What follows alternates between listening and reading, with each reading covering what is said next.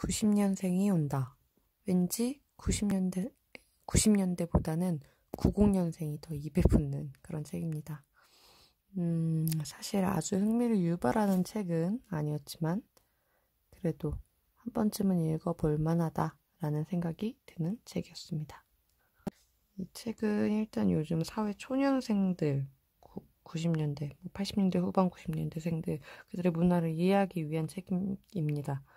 나름 뭐 사회 환경 등 90년대생들의 문화 발생 배경을 이해하기 위해 노력한 모습이 많이 보이는 책이고요.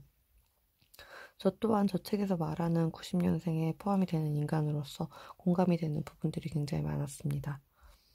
책은 변해가는 시대의 변한 모습에 새로운 세대들의 모습을 이야기하고 뭐 이제 그들의 문화를 들여다보고 그리고 기존 세대와 아주 다른 것처럼 보여주는 부분들에 대해서도 이야기를 하긴 합니다. 하지만 제 생각에는 시대가 바뀌어도 결국 인간이라는 존재 자체가 아예 바뀌는 게 아니기 때문에 세대 간에 서로 대화를 많이 나누고 상대를 이해하려는 자세만 있다면 책을 읽지 않아도 그들과 어울리고 이해할 수 있을 거라는 생각이 좀 들었습니다.